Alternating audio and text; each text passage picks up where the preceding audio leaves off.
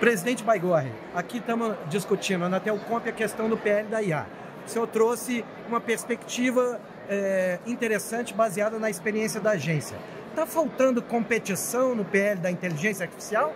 Não, o que eu acho que está faltando, talvez, a minha sugestão aqui foi que promovam não só os direitos, como já estão muito bem estruturados no projeto, mas também que promovam o desenvolvimento do mercado por meio da competição, por meio do compartilhamento de infraestruturas essenciais para o provimento de aplicações de IA.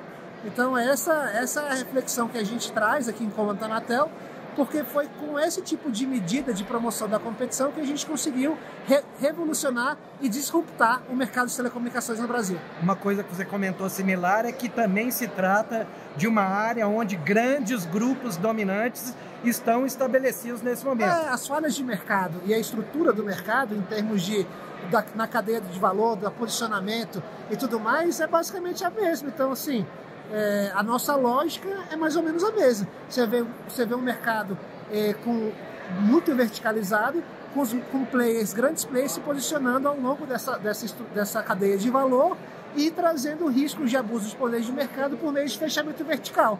E aí a forma de promover competição é garantido que esses players com poder de mercado compartilhem com outros players as infraestruturas essenciais para participar do mercado.